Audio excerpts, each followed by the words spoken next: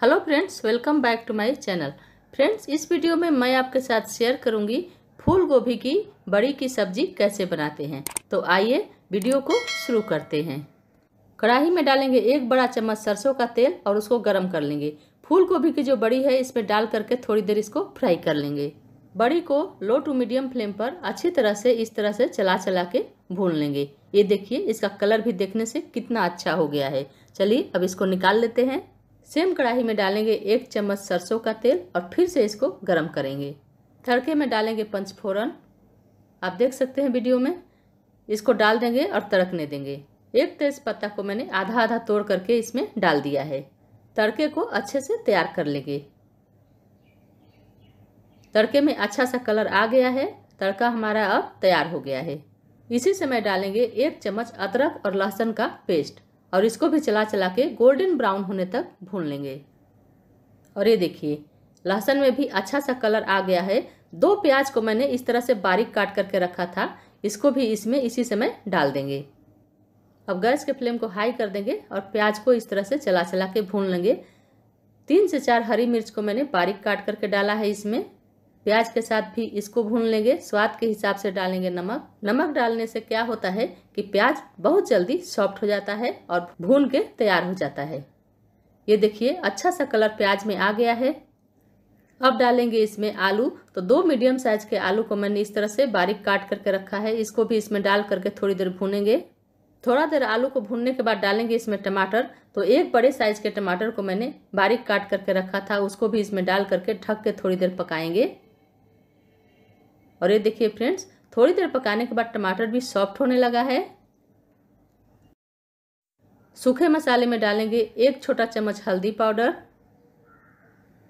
एक छोटा चम्मच धनिया पाउडर, आधा छोटा चम्मच डालेंगे जीरा पाउडर, क्वार्टर छोटा चम्मच काली मिर्च का पाउडर, एक छोटा चम्मच डालेंगे इसमें सब्ज़ी भाजी मसाला, आधा छोटा चम्मच डालेंगे गरम मसाला, आधा छोटा चम्मच लाल मिर्च पाउडर और आधा छोटा चम्मच डालेंगे इसमें मिक्स मसाला। इससे इसका टेस्ट बहुत अच्छा होता है।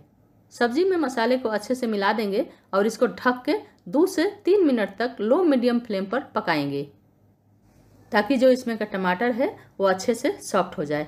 दो तीन मिनट हो गया है, लो फ्लेम पर मैंने इसको पकाया है और ये देखिए अच्छा सा सब्ज़ी पक के तैयार हो गया है। इसका जो मसाला है, एकदम इसमें घुल मिल गया है। ऐसा ही मसाला तैयार करना है हमको। अब डालेंगे इसमें पानी और पानी को डाल करके उबाल लेंगे। पानी थोड़ा सा मैंने इसमें ज़्यादा डाला है क्योंकि बड़ी जो है पानी को खींच लेती है और सब्ज़ी जो है बाद में ड्राई हो जाती है।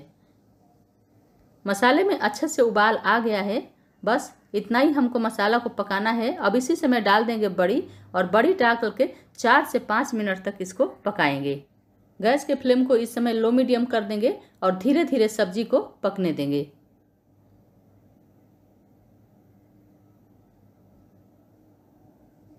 चार से पाँच मिनट हो गया है और सब्ज़ी देखिए पक के तैयार हो गई है।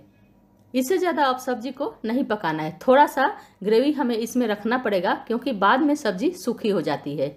ये देखिए, बड़ी भी एकदम से अच्छे से पक गई है। चलिए अब गैस के फ्लेम को बंद कर देते हैं। इस सब्ज़ी को आप गर्मा गर्म चपाती के साथ सर्व करें, ये बहुत अच्छा लगेगा।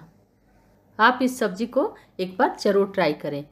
बड़ी तो हम अलग अलग तरह से बनाते हैं, लेकिन इस तरह से फूल गोभी की बड़ी बना करके आप ज़रूर खाइए, ये आपको बहुत पसंद आएगा। इस बड़ी को बनाने के बाद आप पाँच से छः महीना तक स्टोर करके रख सकते हैं।